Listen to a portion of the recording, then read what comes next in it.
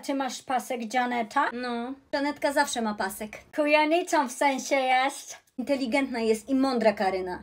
Pasek się opłaca mieć, bo idą za tym korzyści. Mam podejście czysto biznesowe. Ty gadasz jak jakiś menager z kondygnacji. Korporacji, Karyna. Będę miała nic wspólnego z korporacją, lubię być wolna, tylko teraz po prostu żyję w systemie. W jakim ty systemie żyjesz? Wiadomo, że za pasek dasz mi hajs i będziesz mi pozwalać na więcej w wakacje. To ty się uczysz dla korzyści, a nie dla siebie? Uczę się dla siebie, ale nauka nie ma nic wspólnego z ocenami. Oceny zdobywam dla korzyści w domu.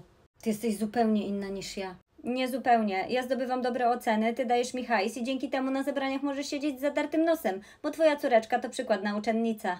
Wy mówicie takimi słowami, że ja dostaję dysgrafii na języku. Jak słyszę tyle niewiadomych w jednym zdaniu, to mam takie mroczki przed oczami. Ciocia, pasek równa się na przykład iPhone i lepsze wakacje. A, to ja się po to maluję.